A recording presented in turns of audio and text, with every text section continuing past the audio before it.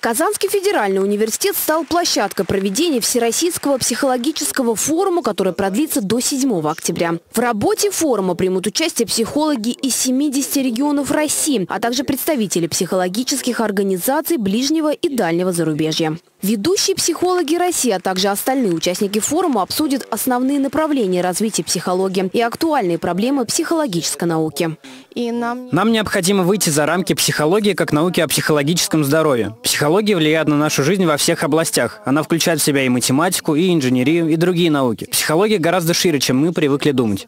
Не случайно для проведения форума был выбран именно Казанский университет. Ведь Институт психологии и образования является одним из крупнейших центров психологического и педагогического образования в России. Большое внимание уделяется и совместным проектам. Одним из партнеров Института психологии и образования является Институт фундаментальной медицины и биологии, с которым ведется работа в области клинической психологии. Помимо классического психологического образования Казанский университет начал подготовку по специальности клиническая психология, ресурсный кадровый потенциал Института фундаментальной медицины и биологии нашего университета. Это тоже совершенно новое подразделение, которое был создан в 2013 только году.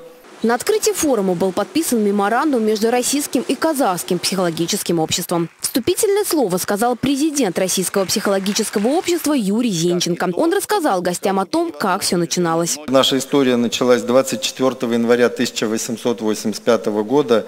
Первое заседание, вот этот рукописный протокол, хранится действительно в отделе рукописи редких книг Московского государственного университета в библиотеке. Вот этот вот фундамент, который был заложен, этот фундамент междисциплинарности, фундамент комплексности, фундамент всестороннего изучения всех вопросов, которые касаются человека и человеческой психики. А ректор Казанского федерального университета Ильшат Гафуров выступил с докладом на тему «Психология в Казанском университете».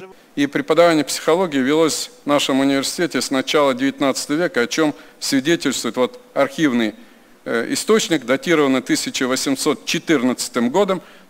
Для участников форума и э, всего российского, наверное, психологического общества более значимой, конечно же, датой, безусловно, является открытие Владимиром Михайловичем Бехтеревым в Казани первой в России психофизиологической лаборатории, которая состоялась в 1885 году.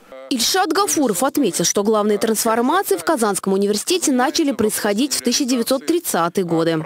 В это время начинается период дезинтеграции Казанского тогда государственного университета, когда на базе факультетов нашего университета и отдельных кафедр стали создаваться самостоятельные, в основном отраслевые вузы. С 2010 по 2013 годы произошло, наверное, самое большое объединение в один университет – семи до самостоятельных высших учебных заведений.